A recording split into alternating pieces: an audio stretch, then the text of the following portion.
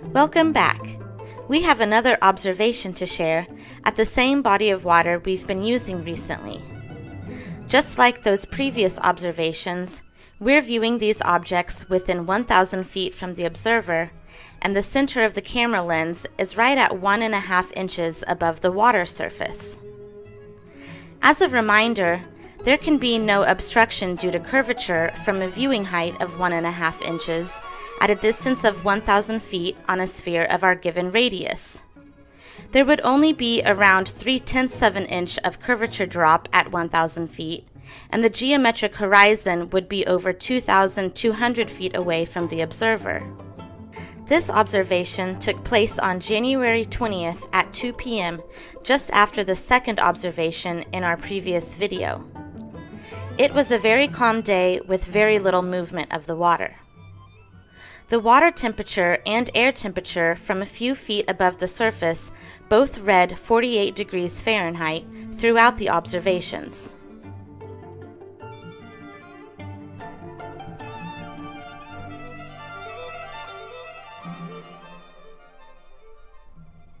In the previous video, we took the RC ship out to around 600 feet from the observer, and the light from the hull of the ship did not arrive to the viewer. We had to raise the viewing height to receive the light from the ship in full.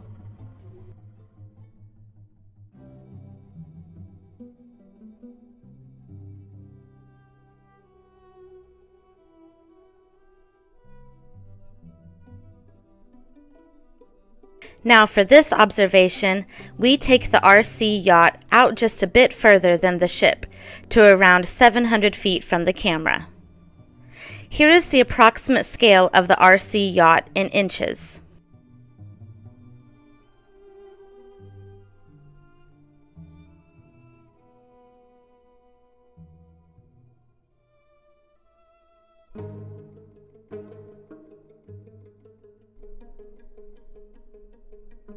Here is the yacht a few hundred feet from the observer. And now we sail the boat out towards 700 feet.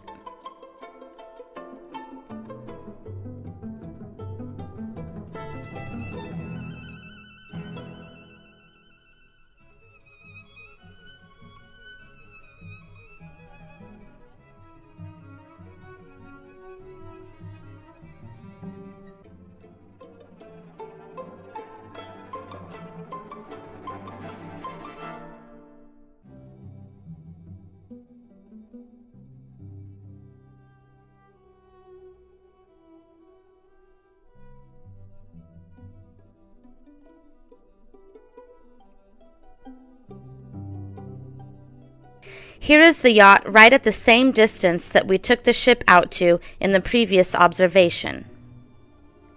And just like the ship, the hull of the yacht, which is around one and a half inches above the water surface, cannot be seen by the observer.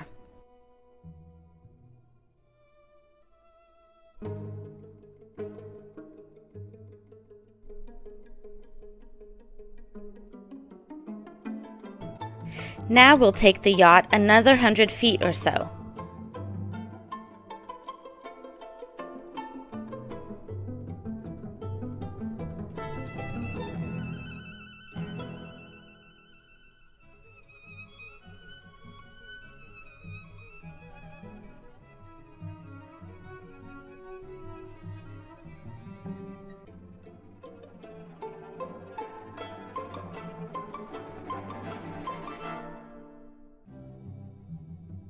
By the time the yacht reaches approximately 700 feet from the observer, only the very top of the yacht is visible to the observer.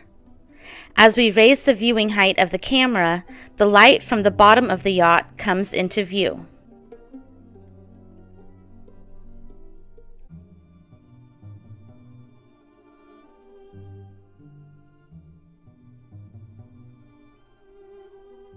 Now we sail the yacht back towards the observer.